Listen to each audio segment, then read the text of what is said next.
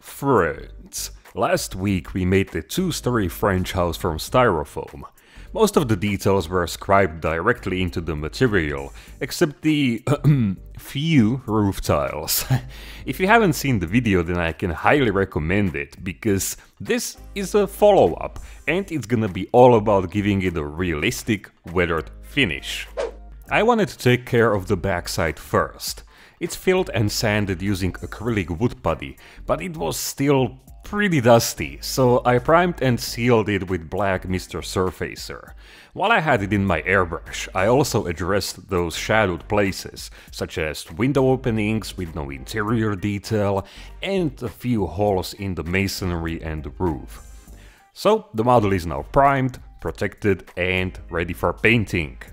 Let's start with the brickwork.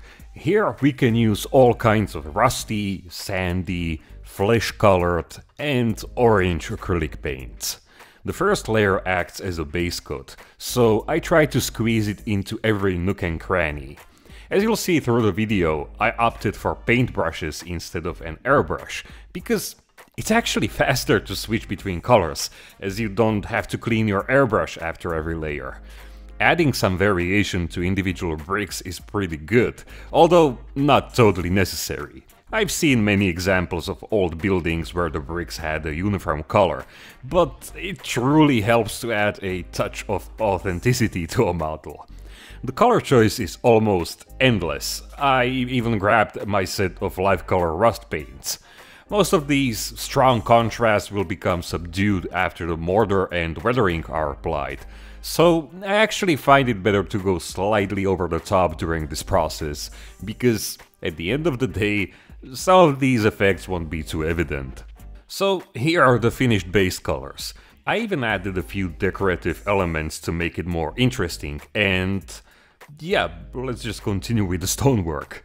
I think that stones look more realistic when we use warmer shades of grey, so I'm mixing dark grey with old wood for the base coat. After looking at several reference pictures, I feel like it's the ideal first layer of paint, because then you can pile all kinds of different tones on top of it without making the stones look too artificial, as is often the case when cold greys or even blue tones are used. Here's my favorite color palette for stones, and in fact, you'll see me using these colors on other parts of this house. Even if you have various contrasting elements, such as brick right next to stones, a roof made from cement tiles, and some weathered wood for example, if you use the same colors for weathering on each element, the finished model will be more harmonious, but we'll get to that later.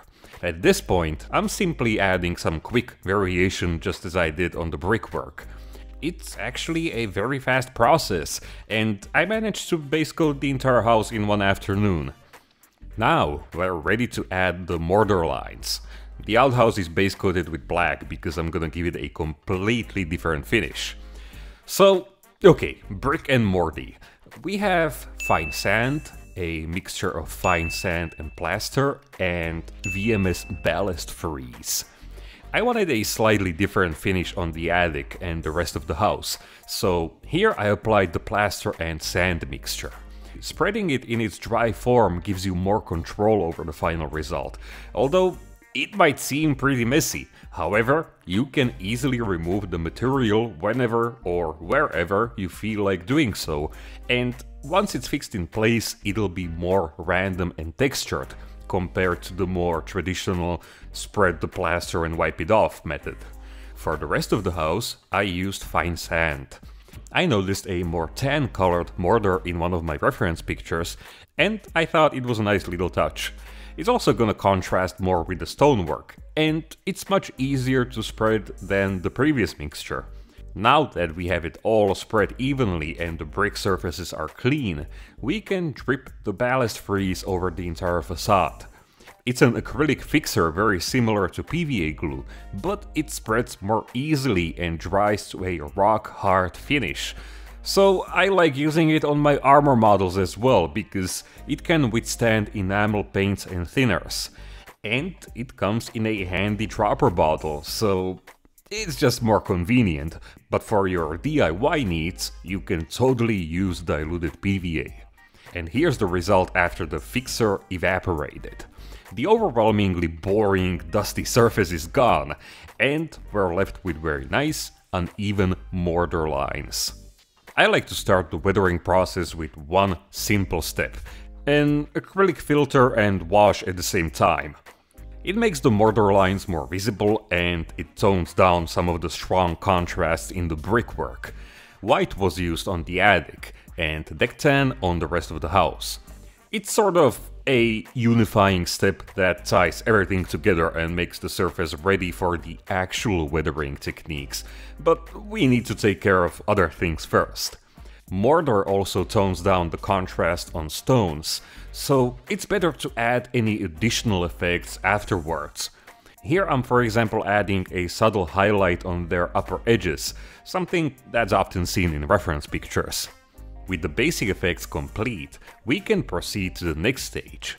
You probably must have noticed that I didn't pay any attention to this area, and that's because there's gonna be a huge painted advertisement. This idea comes from the original reference picture that was the inspiration for this house, and I designed the ad in Photoshop. I'm gonna use it as a template, so everything will be carefully cut out with a sharp blade. It's gonna be a pretty large detail, so yeah, this better work. The basic shape was outlined with Tamiya masking tape. Uh, so far so good. and I sprayed it white. Yeah, this is the only place where I had to switch to an airbrush because, I mean, the advantages are obvious, right? Note how I'm spraying from beyond the masking tape, so to say. This way there won't be any underspray. Now, more masking tape, this time thin strips that are gonna mark out the white outlines, and again, the area was filled with red.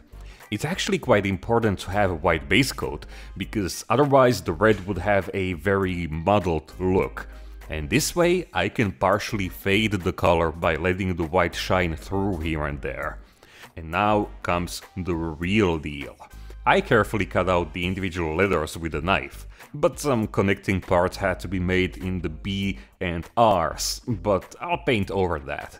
The facade of this house is full of jagged stones and bricks, and that's not the best surface for airbrushing through a stencil, but we gotta make it work.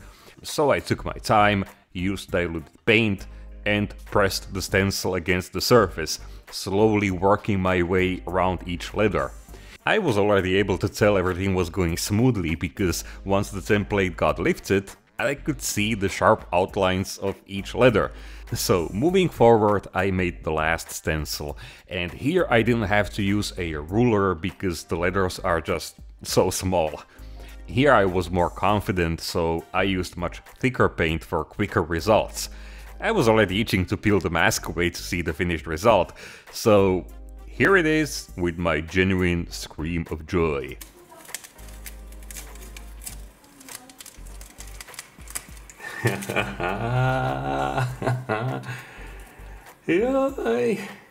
yes, that's exactly how I scream in real life. But the work ain't over yet. I had to paint over those sections on B's, R's, O's, and Q's. Well, Q. And then the most tedious part, the black outline. This wasn't fun, but it had to be done. It actually took more time than masking and airbrushing, but oh boy, it was so worth every hour. this is the first time I've painted something like this, and the result is so, so satisfying.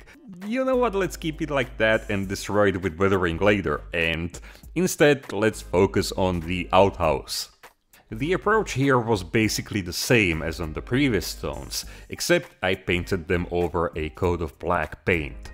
That's because I based the outhouse on a different building with a more, um, rushed craftsmanship, and I needed clearly outlined stones, hence the black shadows between them. They were highlighted in a similar fashion, although I used more tones than just white. In fact, most of the highlight colors were light mud, deck tan and old wood. using warm tones is very important. Seriously. Grays and whites might seem obvious, but they would lead to very unnatural results. I mean, take a look at the finished painting. They already look cold enough, even if the colors were mostly earth colored. Continuing with the mortar, it was applied rather unevenly. That's another thing I spotted in my references, and it's the reason I kept the gaps so dark. Again, the overly dusty surface is quickly toned down with the sand fixer, and once it evaporates, the result is more subdued. This is now a great foundation for weathering, and we'll do that along with the damaged plaster wall on the side. This is a fun process because there's a little bit of magic involved, and it starts with the base coat for the wall. Normally I'd go for a more grayish tone, but it needs to contrast with the stonework. And now for the magic. Acrylic wood putty is an awesome medium, and I'm gonna use it for a lot of effects on this house. But the first primary use was adding texture to this part. It has an interesting consistency and it absorbs paints in a very, very unique way. That's why I'm applying it after the plaster was base coated. And according to my reference photos, I stippled it randomly on the stones as well. The putty tends to become more opaque once it dries, but most of this can be knocked down with subsequent layers of paint. So the first layer is light mud. See how it reacts with the putty? The color underneath is becoming visible again. This can be used for some pretty cool effects, but that's just a fraction of what can be done. It also does wonders if it's stippled in random small shapes. The paint will make the contrast less evident and the edges can be nicely feathered. No complex methods, just a quick filter of diluted paint. Weathering can be achieved with darker paints and this is no guide that should be followed. It's best to find inspiration outside or on the internet. There are tons of stock images for stones, bricks, plaster walls, just everything, and the weathering effects can vary a lot. So knowing the technique is one thing, but knowing where to apply them, that's where inspiration and references are more helpful. I also tried painting some cracks, and this might be my new favorite technique, because it's basically chipping for architectural models. I'll, yeah, I'll need more practice, but I can already tell I'm gonna enjoy this method a lot. so that's the result of just a few acrylic paints and one tube of wood putty. Pretty neat, huh? From this to this. Let's now paint some concrete. These details were also textured with acrylic putty and then base coated in a dark grayish brown color. Everything past this point is about flooding the surface with continuously lighter tones, but each one has a strong, warm hue. Again, the effects can vary, but most of the time, weathered concrete has a sort of beige, sandy grey color. Some of the texture can be highlighted and this is the only time when I'm using pure white, which is a cold color, but it works pretty well in tiny quantities like this. And the effect was finished off with some fake shadows or dirt deposits. They add nice contrast between the individual parts, and going back to cracks, adding a bright outline makes them look more three-dimensional. This is the first time I'm painting something like this, so I'm learning new tricks along the way, and I'm already stoked for the next building. So, with most of the details complete, it's time to give the facade the final layer of weathering, which is gonna look something like this. It might look complicated, but it's actually extremely simple. Just two paints and acrylic putty. You'll see. So, just like on the outhouse, I started by adding more texture with the putty. Of course, I had to keep it very restrained here, and just like with every other part of this house, I had one or two inspirational photos in front of me. This basically will represent a rather messy brickwork, but it can be used to add a very authentic rocky texture just a very small amount stippled on the raised portions and upper edges of each rock, and the rest is gonna be done with paint. The first layer is a filter and wash at the same time. Just like on the outhouse, it tones down the putty, making it less obvious and feathering its edges. It also gives the bricks and mortar lines a faded, dusty patina. Same thing on the rocks, but here I applied the paint very diluted, so it wouldn't overwhelm the previously painted effects. And that's the whole trick, that's all you're gonna need. The same thing was done on the advertisement. All of my references showed these ads totally faded and washed out, but they're 80 plus years old in these photos, so obviously it would look fresher in 1944. Well, I don't know how exactly fresher it might look like, and looking back, maybe I should have kept it more vivid, but eh. The second color and final weathering effect is a very dark tone for those deep, recessed parts where the mortar lines aren't perfect. It adds a lot of contrast and acts as a weathering at the same time. It can be also used to outline various features that might have been lost under layers of paint, such as the bricked-in window behind the advert. And yeah, that's it. I told you it was super easy. Now that the house has a pretty consistent look, I can finally consider it finished and proceed to the other parts. The roof is made from cement tiles, so I gave it a dark greyish brown base coat. At first I was intimidated by the idea of painting each tile differently, but as it turned out, a rather freestyle approach is sometimes the way to go. So I started by smearing two dark brown colors on top of that. At first I was holding back because it just felt wrong, but it's okay to be sloppy sometimes. Just sometimes though, like 1 in 50 cases, so don't take that as an excuse. And then it was about adding different tones to individual tiles. Because I used the wet blending method, the application was pretty fast. It was actually faster than painting the individual bricks. And here I only had one reference photo where I really liked the roof, but it was from a low angle so I couldn't clearly see everything. So what I did here was a very vague interpretation. Long story short, there were a lot of weird colors showing through the cement and a strange light patina on top of that. So I once again employed the acrylic putty. Now, I'm not saying these are meant to be bird droppings, that would be some Alfred Hitchcock level stuff. Uh, I honestly don't know what it's meant to be, so I'm filing it into the I have no clue what it is, but it's in a cool reference picture, so who cares category. Putty was also used to sculpt the concrete holding the ridge together. This is sometimes done in a very sloppy way, and that's always very attractive from a modeler's perspective.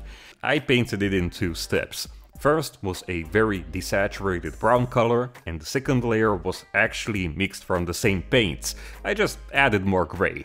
Everything now received a unifying wash of deck tan. It worked its magic with the putty again and gave the roof a dusty, faded, rain-weathered finish. we'll get back to this with moss, but let's now focus on the wood. Here I discovered a pretty cool trick for some nice wood grain effects. The planks have to be painted in a rather thick coat of black paint. This is very important. The paint should be just slightly diluted so it can really bite into the wood.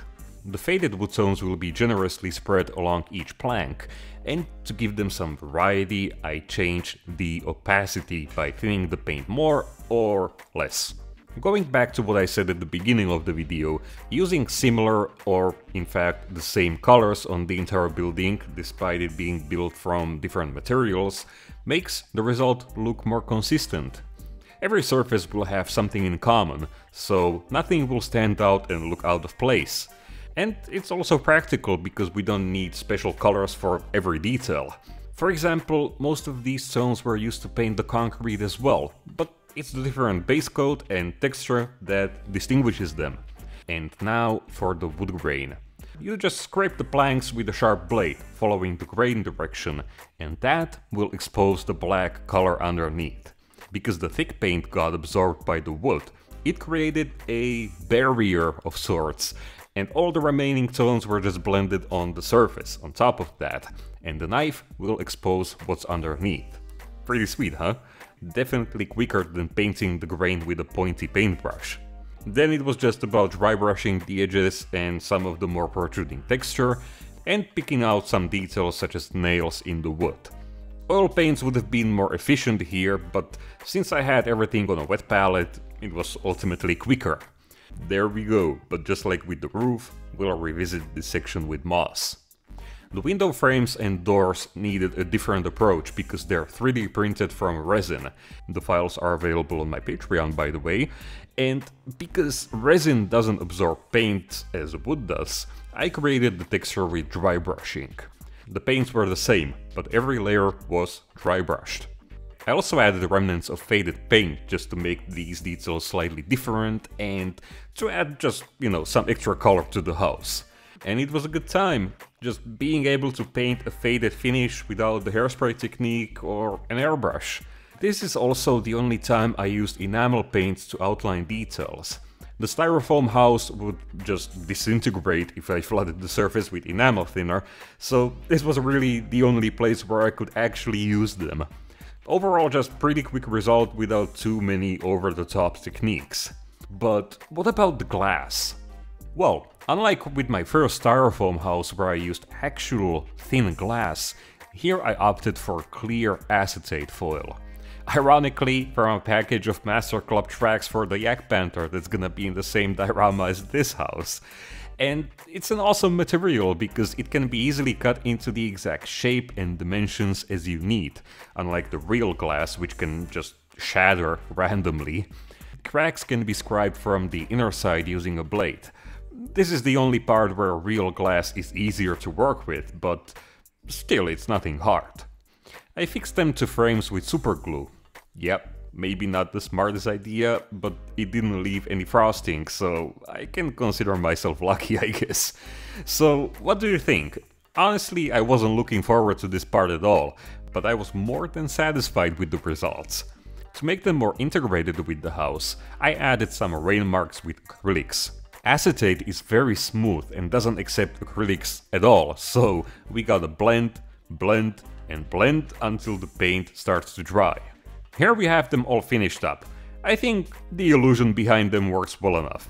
Um, yeah, some details can be added behind the glass, such as random items like vases or curtains, or planks if the windows are barricaded. So let's finish the house with some moss and lichen.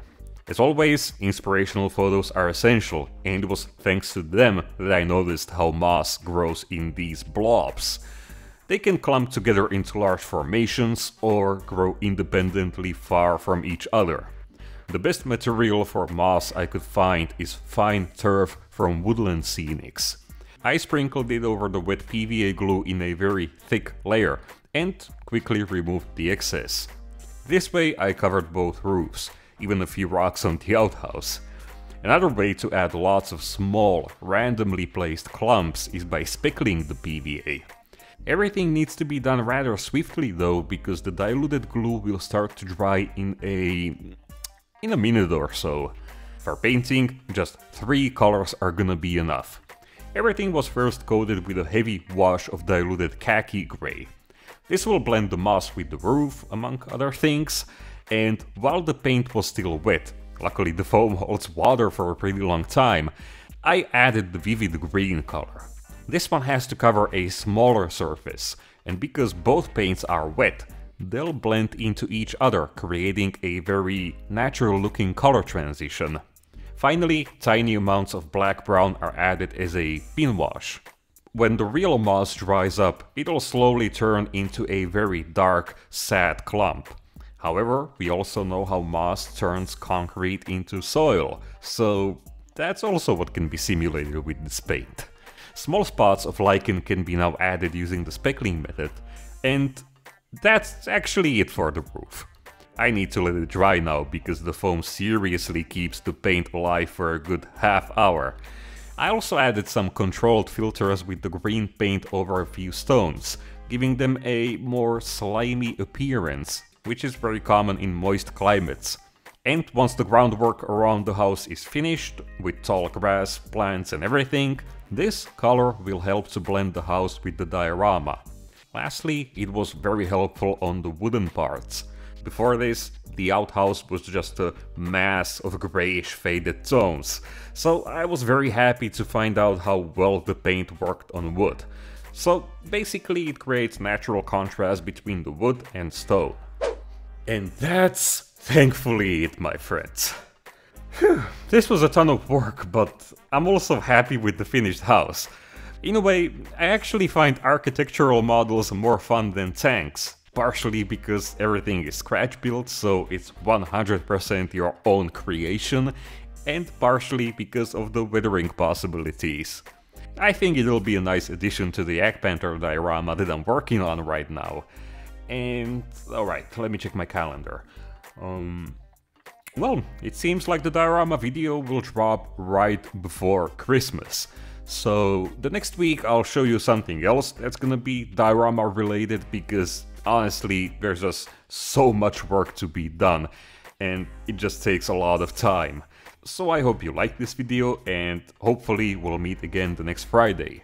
In the meantime, thank you for watching and thank you to my sweet patrons who make this weekly show possible.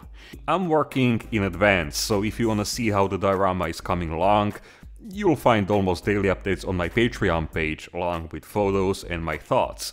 So it's like a frequently updated blog. I also have one week early ad-free videos, so you could check out the next one right now. Then there are also these beautiful studio photos which you can download in full resolution, DMs and comments so we can get in touch, real life references for dioramas and buildings, and 3D files for you printing enthusiasts, including the doors and windows from this house. And yeah, that's gonna be it my friends. So stay awesome, stay safe, keep building models, don't just collect them, and I'll see you in the next one. Cheers!